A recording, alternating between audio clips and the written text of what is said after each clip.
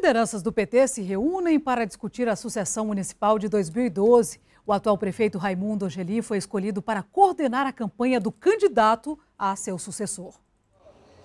Traçar as metas para as eleições de 2012. Este foi o principal motivo da reunião das lideranças do Partido dos Trabalhadores no Acre, que aconteceu na manhã desta quinta-feira. O atual prefeito de Rio Branco, Raimundo Angelim, foi escolhido o coordenador da campanha para a prefeitura do ano que vem. Angelim afirmou aceitar o desafio com muito prazer, além de garantir que a Frente Popular do Acre tem plenas condições para lançar um candidato preparado nas próximas eleições. Aceitei com muito satisfação, com muita honra, mais esse desafio na minha vida.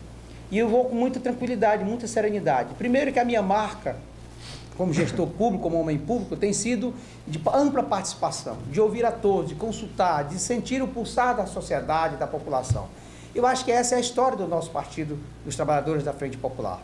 Então, nós aceitamos e enganam-se aqueles que pensam que a gente está cabisbaixo, que nós estamos é, é, apreensivos com esse embate eleitoral. Pelo contrário, o Partido dos Trabalhadores, a Frente Popular, tem o que mostrar, nós temos informações e realizações concretas a mostrar e nós temos muito mais, nós temos um projeto para avançar muito mais. O governador do estado, Tião Viana, falou que a escolha de Angelim foi uma forma de homenagear o prefeito, que, em suas palavras, foi um dos que mais trabalhou pelo município de Rio Branco, destacando seu total empenho e dedicação.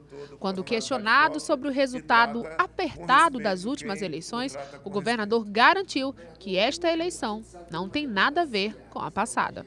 Quando nós olhamos a realidade da presidenta Dilma, depois do presidente Lula estar como estava, ela também não ganhou, não ganhou em Rio Branco. Nós tivemos uma eleição disputada com o nome da nossa ministra Marina Silva, ex-ministra, ex-senadora. Então, isso pode ter gerado, é, junto com, com a situação da candidata Dilma aqui, uma dificuldade de compreensão do processo eleitoral estadual. Então, não tem nada a ver a eleição passada em termos de realidade com a próxima eleição.